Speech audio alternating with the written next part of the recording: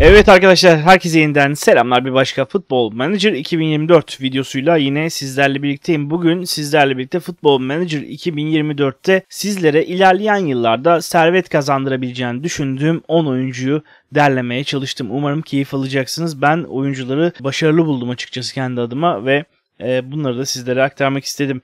Ama şöyle bir detay var, nüans var, onu da bilgisini paylaşayım. Bu tarz oyuncuları bulabilmeniz için çok fazla geniş database'de oynamanız lazım oyunları.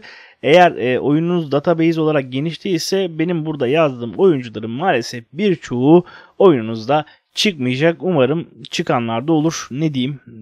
Başka bir açıklamam yok. Onun için hızlıca videomuza başlayalım. Evet ilk oyuncu Tommy Montefiore arkadaşlar. İsmi de e, profili kadar güzel bir arkadaş. Kendisi şu an için kiralık bir oyuncu gördüğünüz üzere Guarani takımından kiralık Guarani takımı neresinin takımı diye soracak olursanız Brezilya eyalet şampiyonasının 12. bir takım Brezilyalı bir oyuncu yani. Şimdi bu oyuncuyu neden koydum bu listeye? Bu oyuncu 82 yetenek puanıyla oyun başında karşımıza çıkıyor ve ee, sözleşme detaylarına baktığımızda oyuncuya imza attırabiliyoruz. Bu bizim için çok önemli bir avantaj. İkincisi oyuncunun potansiyeli 161 seviyelerinde bu da bizim için önemli. Gözlemci raporuna baktığımızda sakatlanma eğilimi orta seviyelerde 12-13 olabilir. Güç kondisyon durumunda sıkıntı var. Çok istikrarlı bir oyuncu, sürekliliği iyi ve yıllık isteyeceği maaş bizim için gayet yeterli seviyelerde. Tommy e, Miofor Miofori geldi aklıma. Eskiden e, Tofaş'ın Miofori diye bir tane 131 arabası vardı. O geldi. Neyse. To Tommy Montefiore arkadaşlar gördüğünüz üzere e, gerçekten iyi bir oyuncu olma yolunda ilerliyor. Engage rolünde iyi oynar diyorlar. Ofansif orta saha içinde zaman zaman değerlendirilebilir. Eğer imkanınız varsa geleceğe yatırım yapmayı seviyorsanız ve database'iniz genişse Montefiore bakmanız gereken isimlerden. Devam ettiğimizde bir tane sol bek buldum sizler için Nijeryalı. Nerenin takımı diye soracak olursanız Nijerya. Nijerya'dan gittim sizin için bu oyuncuyu buldum. Fiziksel olarak güzel özellikleri var. Teknik ve zihinseli o kadar iyi değil. İlk kontrol ve top kapması güzel. Sahte bek için uygun. Yani bu da demek oluyor ki stopere de evirebilirsiniz oyuncuyu. Boyuna bakayım 1.68 eviremezmişsiniz. Tabii gerçi Mascherano yıllarca oynadı. O da oynar. Emmanuel Mitchell arkadaşlar 97 yetenek puanında oyun başında. E, yetenek puanlarında FMRT isimli bir uygulama var. Oradan bakıyorum. Bana özel editör vermedi maalesef Futbol Manager e, bu sene ama belki seneye verirler. 156 potansiyelle bu oyun özelinde çıkmış Nijeryalı oyuncu gerçekten gelecek vaat ediyor ve şöyle bir sizlerle gözlemci raporuna bakalım oyuncunun neler varmış. Dil öğrenmesi gerekiyor hava topları demiş. Fiziksel gücünü daha da geliştirmeli diyor. İstikrarlı bir oyuncu dengeli ve normal karakter çok hızlı bir oyuncu. Tekniğinin yüksek olmasının ardında ilk kontrol özelliği yap diyor. Bakalım ilk kontrolü evet 15 ve hız hızlanması çok iyi. Gelecek vadeden bir oyuncu yine Emmanuel Mitchell.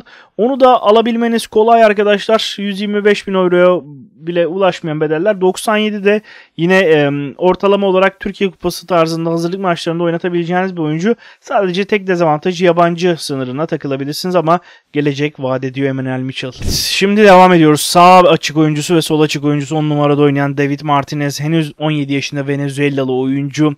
Gerçekten iyi bir profil. Gerçekten şu ana kadar baktığımız en iyi profillerden. Şu an için yetenek puanı 104 seviyelerinde ve 154 potansiyeliye gelmiş bu oyun özelinde piyasa değeri bir epey fazla. Tazminat bedeli var ama sözleşmesinde 675 bin euro yetiştirme bedeli olarak e, bizden alıyorlar bu bedeli ve e, onun karşılığında oyuncuyu alabiliyorsunuz arkadaşlar. Bu da önemli. Oyuncunun fiziksel özellikleriyle teknik özellikleri zihinsel olarak biraz gelişmeye ihtiyacı var.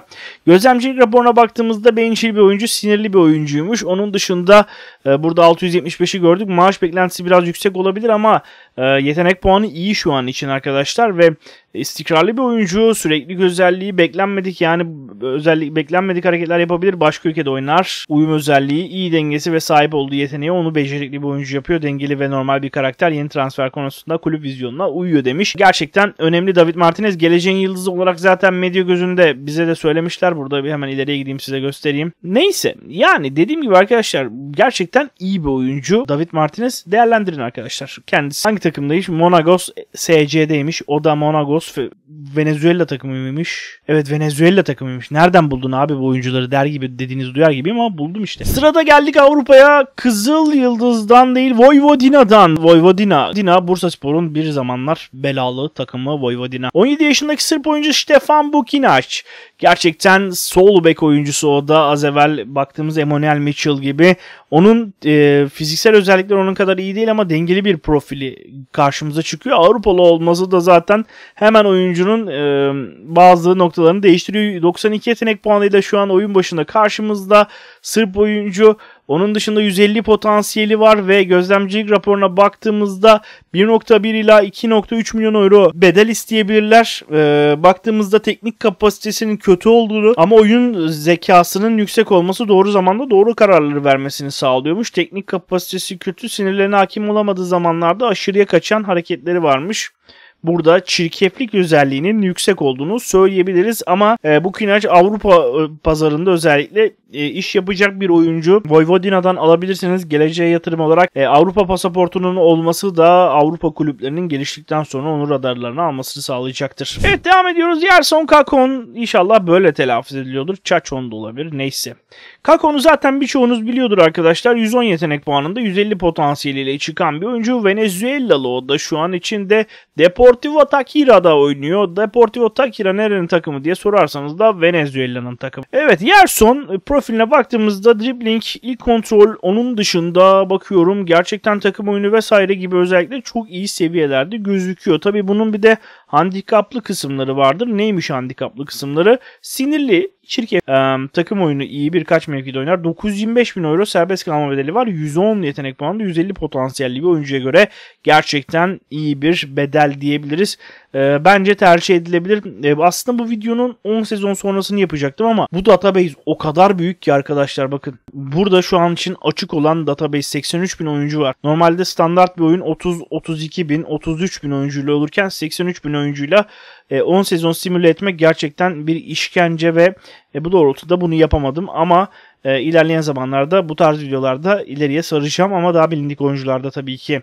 Şimdi 925 bin euro Kakon için çok büyük para değil arkadaşlar. Muhakkak değerlendirin. Önemli oyuncu. Devam ediyorum yine Kolombiyalı, Venezuelalı diye devam ediyoruz. Orta sahanın 10 numara mevkisinde oynayan Miguel Monsalve. Kendisi 19 yaşında olmasına rağmen profili iyi. Onun da yetenek puanı 110 potansiyeli 158 seviyelerinde. Oyuncunun profiline baktığımızda dengeli bir profil yapısı var. En iyi özelliği özel yetenek, iyi kontrol gibi tekniğe bağlı özellikler olarak karşımıza çıkmakta. Kendisi Independiente e, Medellin takımında. O da e, Venezuela takımı değil, Kolombiya takımı arkadaş. Gözlemcilik raporuna baktığımızda oyuncunun kafa toplarını geliştirmesi lazım. Biraz yüksek sayılacak komisyon talep edebilirmiş. Pas yeteneği güzel, istikrarlı bir oyuncu sayılır. 1.4 ila 2.9 milyon euro bedel istiyorlar kendisi için 217 ile 300 bin euro arasında maaş istermiş. Yine de değerlendirebilirsiniz. Miguel Monsalve profili gelişime çok açık kararlılık özelliği de güzel seviyelerde.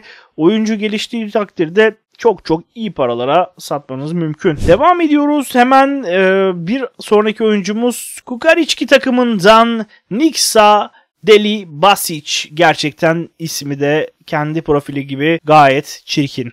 Delibas için profiline baktığımızda arkadaşlar Santrafor oyuncusu ve şu an için dediğim gibi Çukar 2 takımında oynuyor. Çukar 2 de nerenin takımı diye sorduğunuz duyar gibiyim. Çukar 2 Sırbistan Ligi'nin takımlarından bir tanesiymiş. Oyuncu henüz 17 yaşında ve 98 yetenek puanıyla oyunda karşımızda ve potansiyeli beyin oyunun bazında 159 olarak belirlenmiş.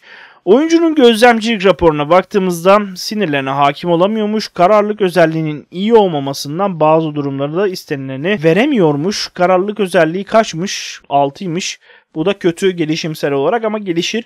Çok istikrarlı oyuncuymuş. 800 bin euro verdiğinizde Deli Basic'i alabilirmişsiniz. Bu da yine artı noktalardan ve gelişimi muhtemelen çok iyi olacak bir oyuncu.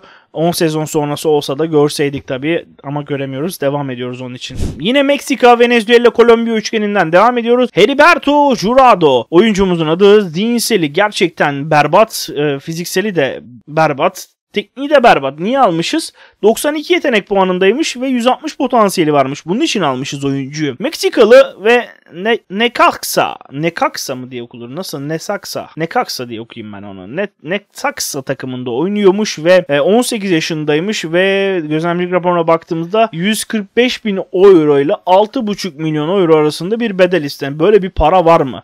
Teklif yap. Şartları öner. 3.2 4.6 milyon euroya hiçbir şey yapmazsanız bitiyor transfer. Aslında gelecek vaat ediyor ama kararlılıkla gelecek vaat etmese de olurmuş aslında. Ben profili çok incelemeden almıştım onu ama 92 yetenek puanı bu profilde olması da ayrıca biraz futbol menajerinin sorgulanabilecek noktalarından bir tanesi ama Heriberto Jurado ilerleyen zamanlarda iyi takımlarda görürseniz şaşırmamanız gereken isimlerden bir tanesi. Bu da listemizde size servet kazandıracak oyunculardan bir tanesiydi. Evet listenin en parlak oyuncusu Sverre Halset Nypan arkadaşlar. Ee, orta sahanın ortasında Mezalla rolünü için biçilmiş kaftan olan oyuncumuz. Şimdi profilindeki en önemli özellik özel yetenek ve teknik olarak belirlenmiş Bununla birlikte fiziksel özellikleri de 16 yaşında bir oyuncuya göre çok çok iyi seviyelerde gözüküyor. Nippon'un gelecek dediğim noktada 115 şu anki yetenek puanı var. 176 potansiyeliyle gelmiş bu oyun özelinde. Bu da demek oluyor ki en az 150 en fazla 180 potansiyelle karşımıza çıkabilir. Gözlemcilik raporlarına baktığımızda 4.6 milyon euro 8.25 milyon euro isteyebilirler. Sakatlanma eğilimi onun üzerinde olduğunu görüyorum. Rosenborg oyuncuyu satmak istemiyormuş ama yine de alabilirsiniz parayı verip ve takip etmeniz gerekiyor kendisini. Birden fazla mevkide oynar. Profesyonelce hareket eder. istikrarlı sakatlar meyilli demiştik. Markaj konusunda daha iyi olmalı. Mezzal'la markajı ne yapacağız arkadaşlar? Hani derin derin falan oynatsak ya da iki yönlü oynatsak da bir markaj gerekir. İki yönlüye de devşirili bu arada. Devşirilmez değil ama tabii biraz daha kendini geliştirmesi lazım.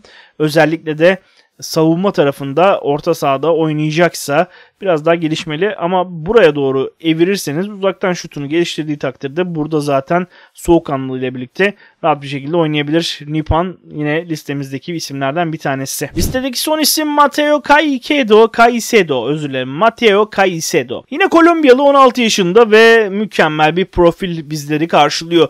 Teknik olarak iyi, fiziksel olarak iyi, zihinsel olarak gelişmesi gerekiyor. Kararlılığı iyi, sağ açık oyuncusu. Solda da oynar, ortada da oynar görüyorsunuz. Tabii bu oyuncuda şöyle bir sıkıntı var. İmza attır diyebiliyoruz oyuncuya ama Porto bizden önce gelmiş bu oyuncuyu kapmış. Onun için bir hareket etmemiz mümkün değil. Ama gözlemcilik raporuna da bakmak paralıyla değil. E, istikrarlı bir oyuncuymuş, bencil bir oyuncu sayılır, sinirlerine hakim olamazmış, arkadaş grubuna kolay katılmaz, hızlı bir oyuncu sayılırmış. Tekniğinin yüksek olmasının ardında ilk kontrol özelliği yatıyor. Birden fazla mevkide oynuyor. Yeni transferler konusunda kulübün vizyonuna uyuyor ve yaşı dolduğunda Porto'ya gidiyor. Biz de burada e, bir taraflarımıza baka baka oyuncu izliyoruz ama Matteo Caicedo ilerleyen dönemlerde çokça dikkat etmeniz gereken isimlerden bir tanesi olacaktır. Şu an için oyun başında 88 yetenek puanı ve potansiyeli 59 olarak belirlenmiş Matteo Caicedo'nun. Dediğim gibi bugün sizlere Football Manager 2023'te kendime göre bir liste yaptım arkadaşlar. Size servet kazandırabileceğini düşündüğüm oyuncular. E, burada Meksika, Kolombiya ikilisini açarsanız genelde bu oyuncular karşınıza çıkması daha kolay olacaktır. Bunun da dipnotunu paylaşayım ve videoyu bitireyim. Umarım beğenmişsinizdir. Beğendiyseniz bir like tuşuna basıp destek olmayı unutmayın. Ayrıca abone değilseniz abone olup bildirimleri açmayı lütfen ihmal etmeyin. Football Manager 2024 e, konusunda izlenmelerimiz çok iyi başlamadı. Sizden ricam desteklerinizi esirgemeyin. Bütün hatırlatmalarımı yaptığıma göre bir başka futbol, dili ve edebiyatı videosunda görüşene dek şimdilik kendinize çok çok iyi bakın. Hoşçakalın. Bay bay.